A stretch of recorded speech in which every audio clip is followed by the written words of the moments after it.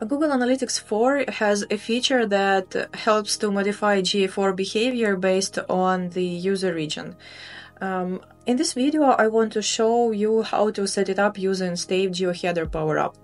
Uh, this feature can be extremely useful if you want to modify GA4 or any other take behavior for uh, when using when setting up a consent because if you have visitors from all over the world you may want to trigger a consent banner uh, for some users while for other countries where it's not required there is no need to, to show the cookie banner uh, the setup uh, process starts with uh, configuring GeoHeader PowerUp inside uh, Stape admin.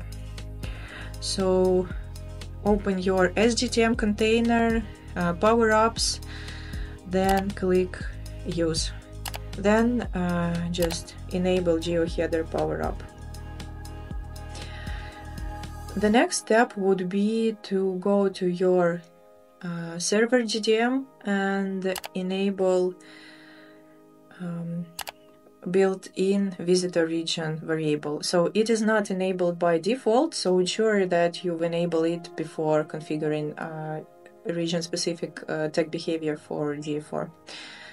So in my case, it's already configured, um, and um, yeah, let's uh, refresh my preview and uh, test uh, if uh, this uh, variable received the data correctly.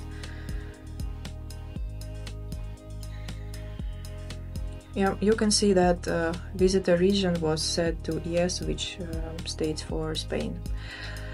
Uh, now let's let me show you how to extract headers that uh, Stape GeoHeader PowerUp sends to the incoming request. So this is the incoming request that I received.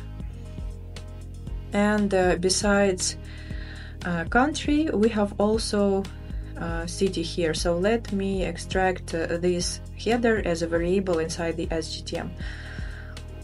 Uh, I will click variables, click new, and then just add a new variable with the type uh, request header and uh, add uh, this uh, header name.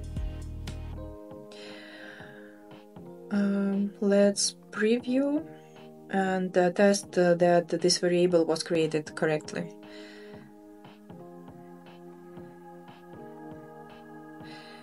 Variables, yeah, you can see that GeoCity is set to Madrid, which is basically the city that I'm, I'm in.